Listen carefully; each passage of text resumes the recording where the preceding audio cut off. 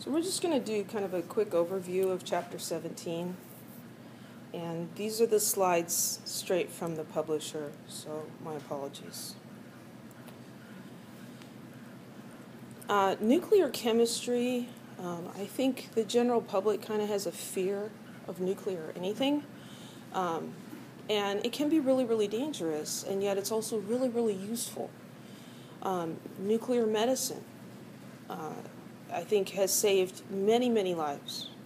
So we can use radioactivity to get clear images of your internal organs without harming you, without cutting you open, figure out what's going on inside so that we can, you know, do something about that. Um, so this is a, an illustration of um, diagnosing appendicitis. So they can give you some antibodies that have radioactive tags on them. And if you've got an, effect, an infection in your appendix, your appendix collects stuff. And so the antibodies will accumulate there, and then they can, um, using a, this fancy machine, what is that? I don't even know. I'm, I'm not a doctor. Um, but they can take a picture of you and see the radioactivity and see it clustered up in your appendix. And that is a really clear indication that you've got an infection in your appendix. If you don't, then it won't accumulate there. So, you know, if, you if your appendix is not infected, you really don't want to have surgery and have them cut it out just because your stomach is hurting. That'll make your stomach hurt more. What is radioactivity? Radioactivity is the emission of tiny energetic particles by the nuclei of certain unstable atoms. So most atoms are stable, they just stay the same all the time. But there are some that just fall apart all by themselves. So the nucleus, which is where the nuclear comes from in nuclear chemistry, the nucleus will just kind of randomly spit out some particles. So in this illustration, we've got an atom here, and the nucleus is going to emit a particle. There's a couple different kinds of particles that can come out, and this is called radioactivity.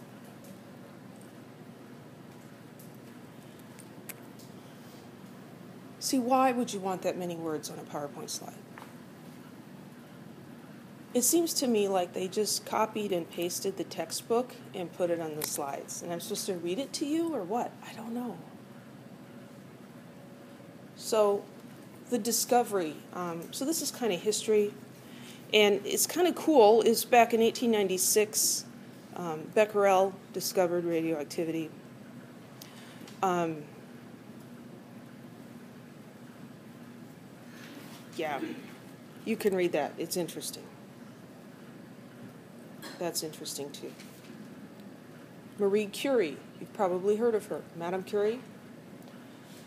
So, she was a pioneer in more than one way. She was one of the first women in France to attempt um, doctoral work, a PhD, graduate work in chemistry. And so she was studying the emissions of uranium.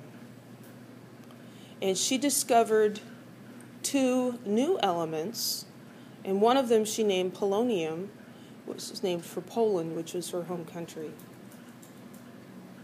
So she was looking at radium to see if any, I mean, uranium to see if anything else, any other types of rays that they didn't know about before. Um, and the other element was radium, um, because it was really radioactive. It, it, it was so radioactive it glowed in the dark. Okay, most radioactive things do not actually glow in the dark. You know, you get movies and urban myths and stuff going on. It's glowing in the dark. But radium does glow in the dark. Um, they used to put radium in paint, and the glow in the dark watches, you know, that you could see back in the day, um, they had uranium in them. And now we realize, you know, maybe that wasn't such a great idea. It glowed in the dark really well, though. She got the Nobel Prize um, for in physics. Um, she shared that with Becquerel and her husband Pierre. And then um, a few a few years later, she got another Nobel Prize. She's a pretty impressive lady. They named element 96 in honor of her, Curium. Um, and there's a picture of her and her two daughters.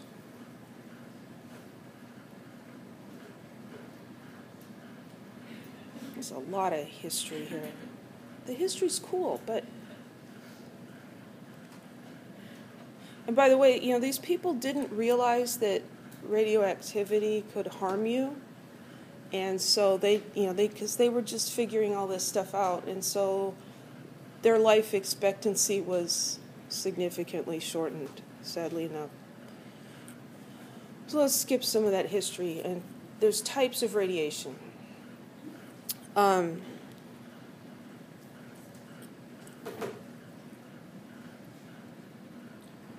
I think the most important thing in this slide is that there's um, alpha rays, uh, beta rays, gamma rays, and positrons.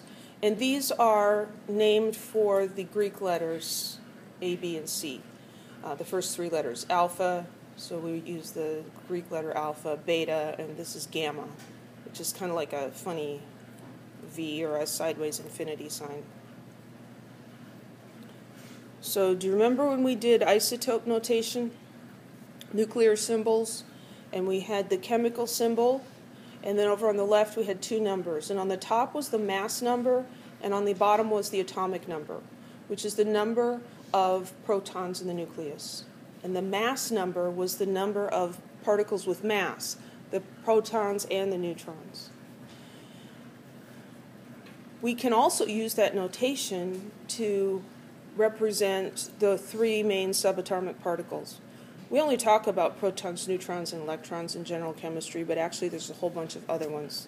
There's muons and gluons and all kinds of funny things. So a proton, oops, wrong place. Keep doing it. A proton, so we use the symbol P for proton, isn't that nice? N for neutron, E for electron, first letter of their names. So a proton has one proton. Catchy, huh? So one proton, and so its mass is going to be one because it doesn't have any neutrons. The neutron is going to have a mass number of zero because it doesn't have any protons, it's just a neutron, but its mass number is one. And an electron, this one's a little hard. The electron has a mass number of zero and um, an atomic number of negative one. How can it have minus one protons? Well, I think we'll explain that later. So, alpha radiation occurs when you have an unstable nucleus that shoots out an alpha particle. What's an alpha particle? An alpha particle is actually a helium nucleus. So, this is the symbol for the alpha particle. So, it's a helium nucleus. It's got four, a mass number of four, because it's got two protons and two neutrons. So, we've got this larger nucleus, and it's unstable. We don't go into why in this class. And it shoots out this particle. And now what's left has two fewer protons and two fewer neutrons. It's alpha decay. So we can write equations for these processes. So this is the equation for the nuclear decay of uranium 238. Remember, uranium 238, this is going to be the mass number. This is an isotope of uranium. Isotopes differ in the number of neutrons, they all have the same number of protons. If you look on the periodic table, uranium is element 92. So it has 92 protons, and its mass number is 238. When it undergoes alpha decay, it spits out an alpha particle. An alpha particle is a helium nucleus. Mass number of 4, atomic number of 2. So, where did these two protons come from? They came from the nucleus of this atom. So, what's left after it loses two protons? Well, 92 minus 2 is 90. So now we have something with an um, atomic number of 90. And the mass number, 238, we're taking away a mass of 4, so we get 234 left. And then where do we get this TH? Well, this is a different element. This is element number 90, the element with 90 protons. So we look on the periodic table and it's thorium, TH. So in nuclear chemistry, you can have one element changing into another element. So we're, we're looking at the nucleus And so we don't we don't mess around with charges. This should really have a 2 plus charge on it because it doesn't have any electrons. But we're not going to look at that because we're only looking at what happens in the nucleus. Any questions?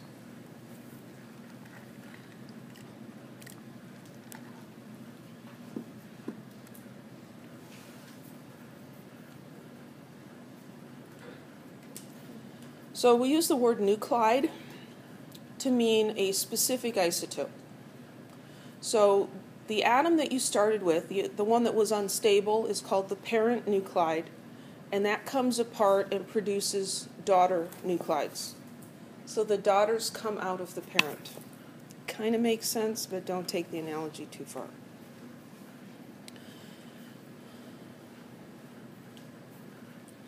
So this one down here is kind of important. In chemical reactions, we talked about how if you start with three hydrogen atoms, you end up with three hydrogen atoms. And all that happens is that you rearrange the atoms, and the atoms themselves don't change. In nuclear reactions, the atoms do change. So remember, I talked about Lego blocks a lot with chemical reactions. So, Lego blocks you take the bricks apart, you build something else, but you have the same number of bricks and the same kind of bricks because they're pretty hard to break with your hands. You can't make them into other things. In nuclear chemistry, now you have this little shop, and you've got hacksaws, and you've got melting things, and you could melt those bricks down and form different bricks, and you can change what the bricks are. So that's a real big difference between regular chemistry, chemical reactions, and nuclear reactions. But nuclear reactions have to be balanced because the number of particles is going to remain the same. So the protons and the electrons and the neutrons are going to um, come apart from each other, perhaps, but they're not going away. And so our equations have to be balanced. In this balance, in this equation here, we see that the mass numbers on one side add up and equal the mass numbers of the other side. So we've got 238 on this side and 238 on that side. And the atomic numbers have to be equal as well. So we've got 92 over here and 90 plus 2 over there. Kind of already went over that. So we can deduce or figure out what the daughter nuclide is if we know what type of decay and what the parent is. So here in this example, the parent is thorium 232, and it's undergoing alpha decay, which means that an alpha particle comes out. So then we can look at this missing piece here and figure out what it is. Over here, the total of the mass is 232, and so over here it must be 232. So what plus 4 equals 232? Well, it must be 228. 228 plus 4 is 232. The atomic number over here is 90, and so over here it has to add up to 90. So this must be 88. 88 plus 2 is 90. And then we can figure out what the element symbol is by looking at the periodic table. And element number 88 is radium. So the missing piece here um, there is radium with a mass number of 228 and an atomic number of 88.